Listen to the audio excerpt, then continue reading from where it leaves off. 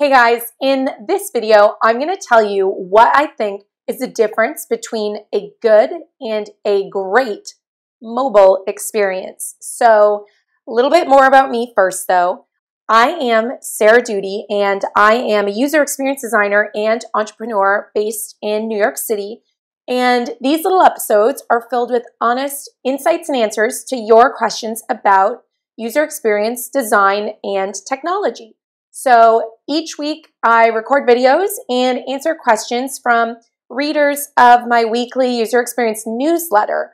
So this week, a guy named Brian has asked, what is my favorite use of user experience in a mobile app?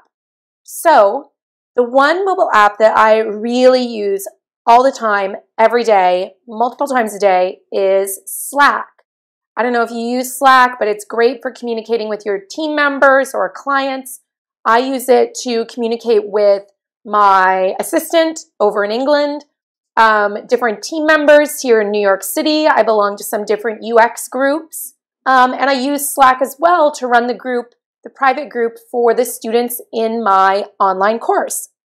So Slack is a really, really vital part of my day. Now, Slack has an awesome desktop app, but what I've come to really love is the mobile app or iPhone app for Slack. So I want to pull it up for you guys. Um, let me get out of my Instagram here and let me go to Slack. I have way too many things on my home screen. Um, so this is embarrassing. I can't find it. Oh yeah, there it is. um, so Slack. I'm in a ton of different Slacks and I want to sign into one that I already logged out of to show you the one feature that I really, really love. So I'm going to go ahead and sign into um, user experience design.slack.com. So that's a big user experience group, um, also known as Designer Hangout. And I'm going to go ahead and sign into it. So I've got userexperiencedesign.slack.com. That's the domain. And now I'm going to hit next. Now it asks me for my email. So I'm going to type my email correctly. Uh, there we go. Sarah, uh, there's my email. Now everyone knows it, but you can find it anyway if you're online. Pretty easy to guess. Um, okay, now I'm going to do my password. And surprise, I honestly don't remember it. I never remember any of my passwords. I'm always doing password resets. But notice what Slack does here. So they don't even present me with a password field. They say password long, hard to type. Get a magic link sent to your email that'll sign you in instantly. Or if I want, I can type my password. So if I'm really smart, I can go here and type my password and they'll just type a bunch of stuff, which is not my password. But okay, I guess two points here. Point number one is if I'm typing in my password on mobile, I mean, typing's annoying to begin with. So what I love that we're seeing mobile apps do more and more, and even on desktop, is to have this little icon. It's an eyeball, if it's not obvious there. Um, and you just put that eyeball and then it shows you what you're typing. So if I knew my password, I could, be, you know, type, type, type, type, type, and there it is. And then I can hide it and show and hide. Really great user experience because it has considered the context of me in this situation. I'm on my mobile device. It's hard to type. It's small. Let me see what I'm typing. Also, we probably don't have to worry about worry about privacy because the phone is like super close to me, so no one's really looking over my shoulder stealing my password, but it's nice to show and hide it. So that's the first point. That's not the point I meant to make because I got really excited, but here's the cool thing about the Slack um, mobile experience. So we entered in our email address, and now um, password too long, hard to type. Yeah, I don't remember it. Never remember them. So I'm not going to type my password. I'm going to do Magic Link.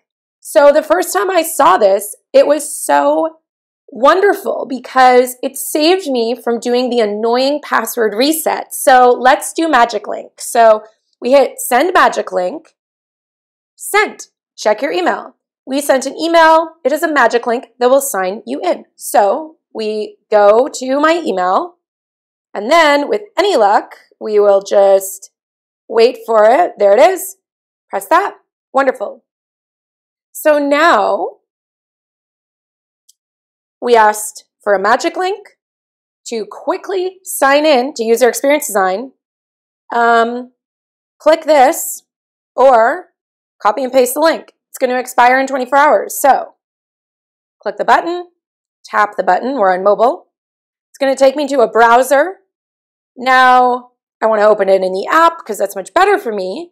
Or I could use it on, on the browser, but I want to launch Slack.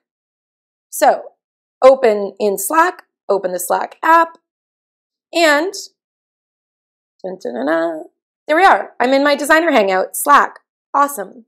And there's like so much awesome discussion in this designer hangout. That little red thing, that's the, the icon for it. But if you just Google like designer hangout Slack, you'll find this.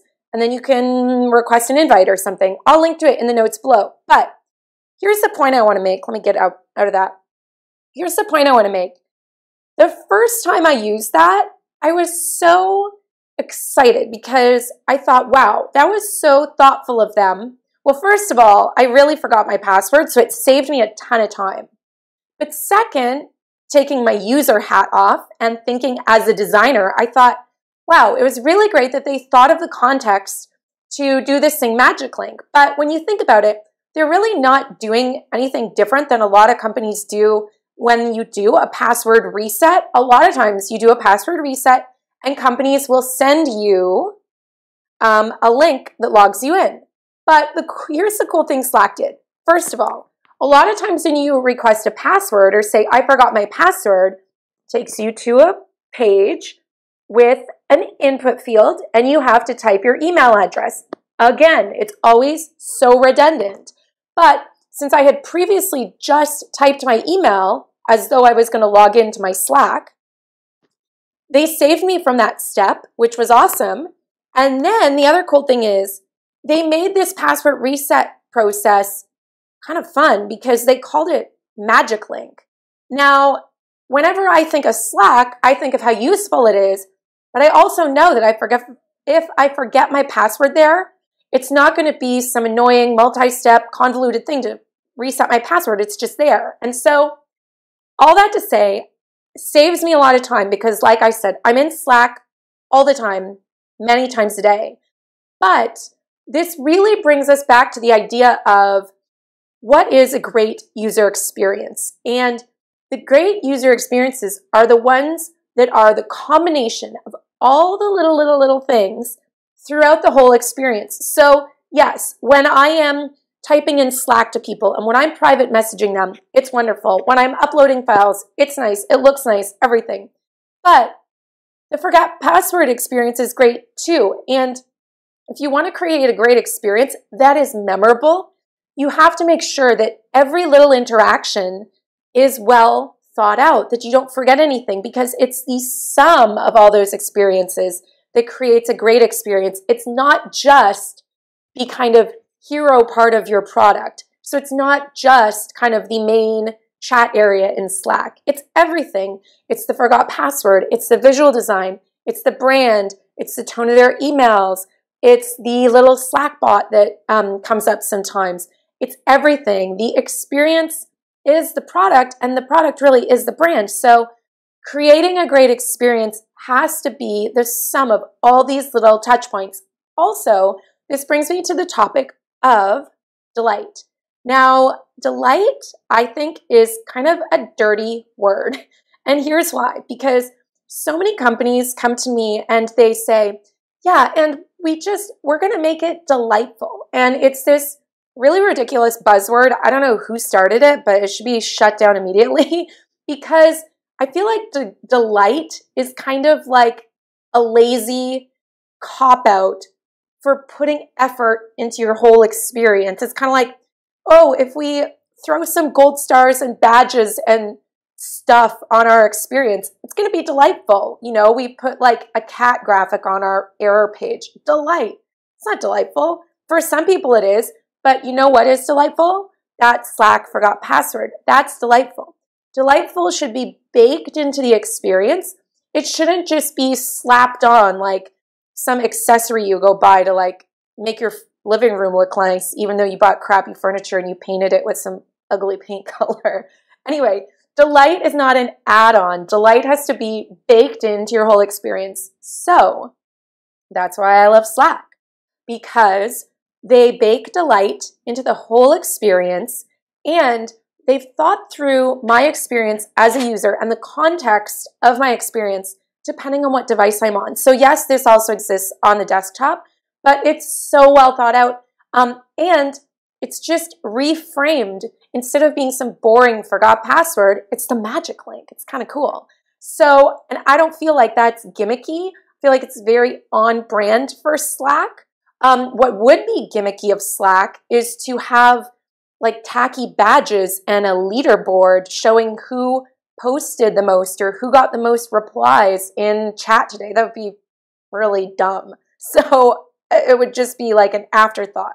So if you want to create a great user experience, you have to think through every little touch point, every single interaction, and you can't use delight as a lazy cop out to try and add delight to your experience at the very end. Um, you have to think of how do you create a great experience at every point in the experience and don't rely on gamification or badges or cats and stuff to fix maybe a bad experience you already made. So that's it for today.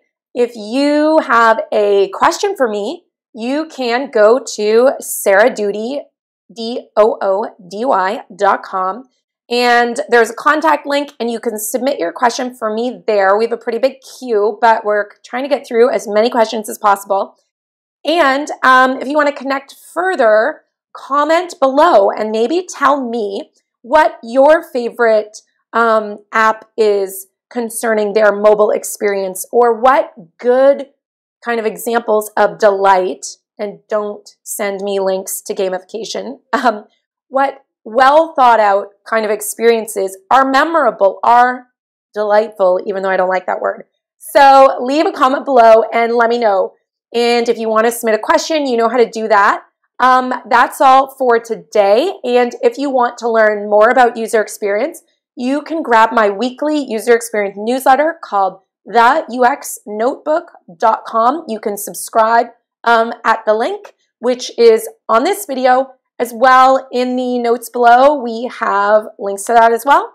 Or you can just go right over to theuxnotebook.com and sign up. You get your first issue on Friday. So Thanks, guys. Um, we're going to keep working through our question queue, so bear with us and have a good day wherever you are. And I'll talk to you soon. See ya.